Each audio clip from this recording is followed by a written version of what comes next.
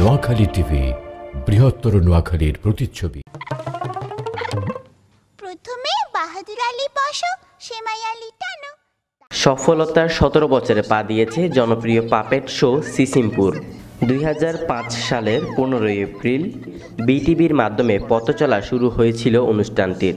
শুরু থেকে শিশু কিশোরদের মধ্যে ব্যাপক সাড়া ফেলেছিল ইকরি হালুম টুকটুকি শিকরা।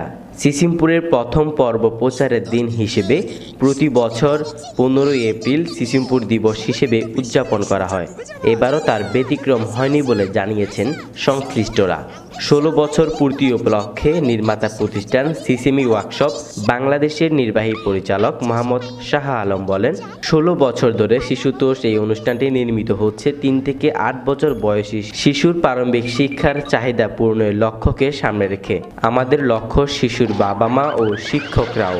আনন্দ আর খেলার ছলে সিসিমপুর ভূমিকা রেখে চলছে শিশুর সামগ্রিক বিকাশে।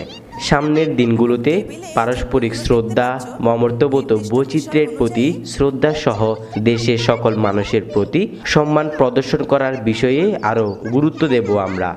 বর্তমানে সিসিমপুরের তেরোতম সিজনের প্রচার চলছে দুরন্ত মাছরাঙা ও বিটিভিতে। তিনটি টেলিভিশনের মাধ্যমে দেশের প্রায় এক কোটির দর্শক অনুষ্ঠানটি উপভোগ করছে এখন। রায়া আমার সবজি তরকারিটা খাও। না না আগে ভাত খাও। আগে সবজি তরকারি খাও ইমরান হোসেন ডেক্স news Noakhali TV. Noakhali TV বৃহত্তর নোয়াখালীর প্রতিচ্ছবি।